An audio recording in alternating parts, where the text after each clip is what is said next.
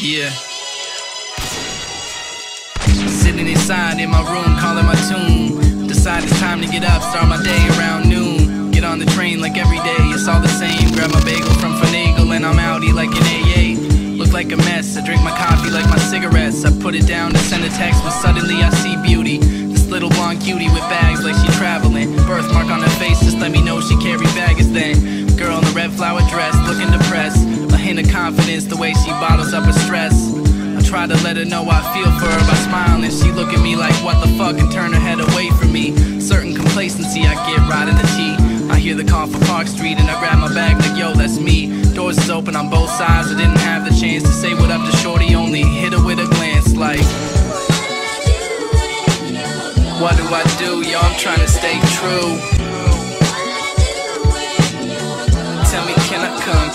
you.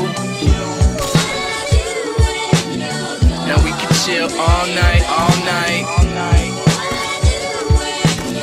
But first, I gotta get a word with you. I said, damn, that was a hot girl in that street car. No blades kinda made me lose track of all my.